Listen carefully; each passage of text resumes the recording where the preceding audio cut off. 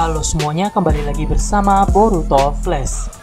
Dalam pertarungan melawan Isiki Otsutsuki nantinya, Naruto akan menggunakan beberapa kekuatan dahsyat agar bisa mengalahkan Isiki Otsutsuki. Dan sebelum kita lanjut, intro terlebih dahulu. On the track, boy.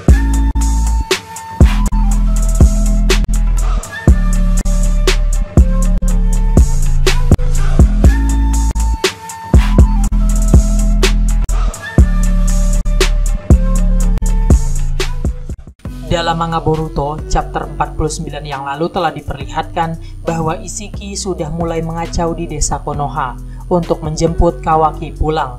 Dan kemudian Naruto, Sasuke, dan Boruto pun mulai ikut bertarung melawan Isiki yang di mana pada akhirnya Boruto berhasil membawa Isiki ke dimensi lain menggunakan kekuatan segel karmanya.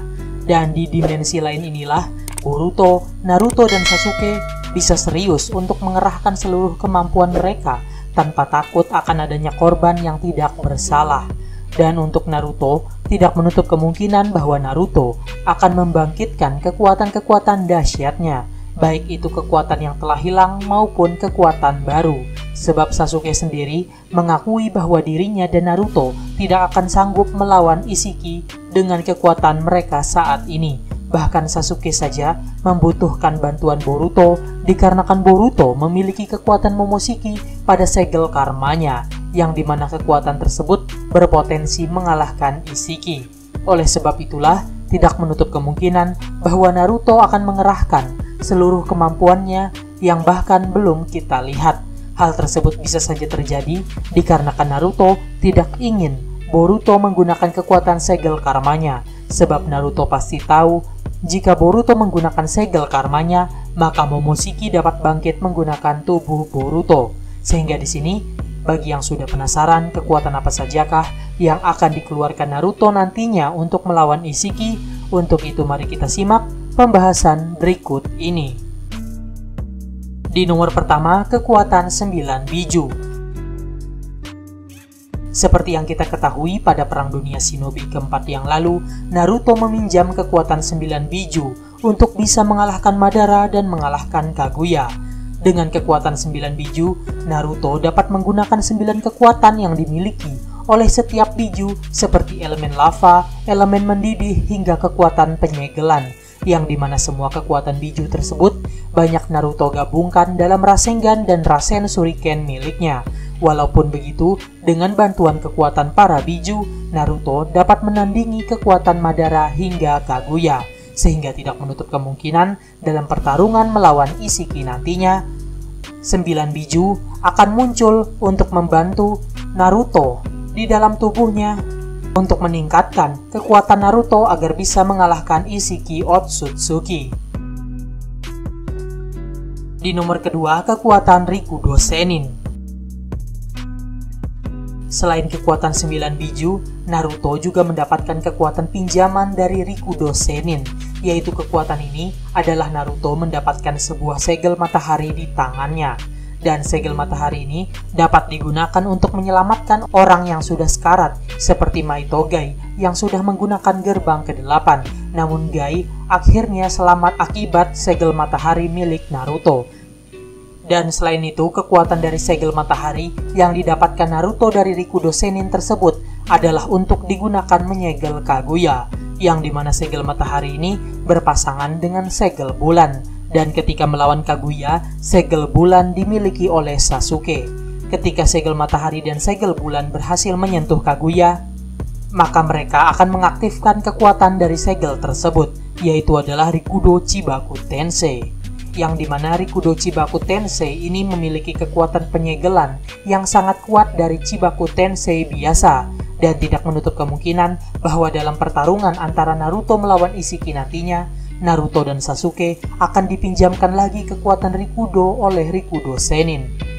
Sebab Isiki Otsutsuki juga adalah musuh yang memiliki kekuatan dahsyat seperti Kaguya, sehingga jika hal tersebut benar akan terjadi, maka Naruto dan Sasuke akan berusaha untuk bisa menyegel Isiki menggunakan Rikudo Chibaku Tensei.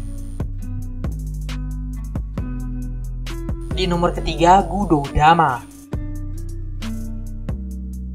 Dalam perang dunia shinobi keempat yang lalu, Naruto juga memiliki kekuatan Gudodama setelah mendapat kekuatan 9 biju dan kekuatan Rikudo Senin.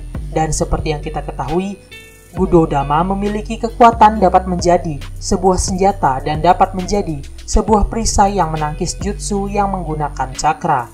Namun dalam anime Boruto, sekarang ini tidak diperlihatkan lagi di mana Gudodama milik Naruto, Apakah Gudodama Naruto telah hancur dalam pertarungan melawan Kaguya dan melawan Sasuke di masa lalu? Ataukah Gudodama masih ada namun Naruto tidak menggunakannya?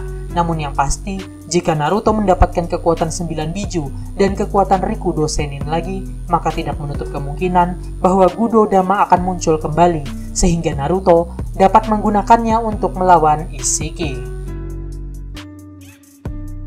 Di nomor keempat, elemen kayu. Seperti yang kita ketahui, Naruto memiliki tangan palsu yang terbuat dari sel Hashirama. Tangan palsu tersebut dibuat dikarenakan tangan Naruto yang hancur akibat bertarung melawan Sasuke. Dan dikarenakan Naruto adalah kekuatan yang memiliki cakra setengah Otsutsuki, maka Naruto dapat menggunakan sel Hashirama tanpa takut akan efek sampingnya dan orang yang menggunakan sel Hashirama seharusnya bisa menggunakan elemen kayu. Namun hingga saat ini kita belum pernah diperlihatkan apakah Naruto bisa menggunakan elemen kayu atau tidak. Namun seharusnya Naruto bisa menggunakan elemen kayu tersebut. Tapi mungkin saja terdapat beberapa alasan Naruto tidak menggunakannya, seperti kekuatan tersebut terlalu berbahaya ataupun Naruto tidak tahu bagaimana cara menggunakannya. Namun jika Naruto memang benar bisa menggunakan elemen kayu, maka tidak menutup kemungkinan bahwa dalam pertarungan melawan Isiki ini, Naruto akan menunjukkan kekuatan elemen kayu miliknya.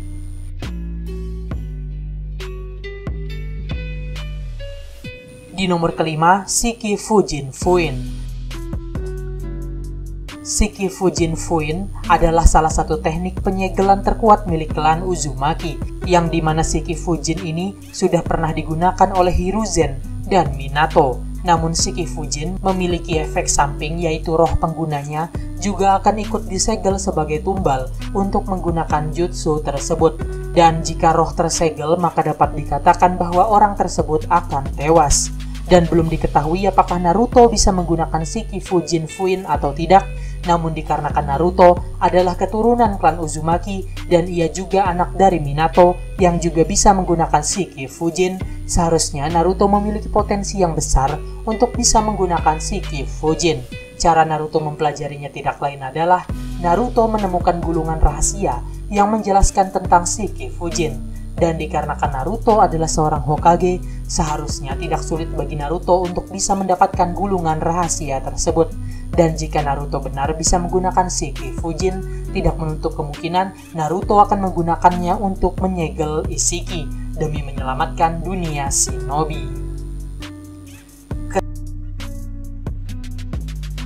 Kesimpulannya dalam pertarungan melawan Isiki nantinya tidak menutup kemungkinan Naruto akan meminjam kekuatan 9 biju dan Naruto juga akan menggunakan kekuatan yang belum pernah ia perlihatkan seperti elemen kayu dan yang lainnya. Jadi, itulah tadi beberapa kekuatan yang akan digunakan oleh Naruto untuk melawan Isiki. Semoga bermanfaat dan sampai bertemu di video selanjutnya.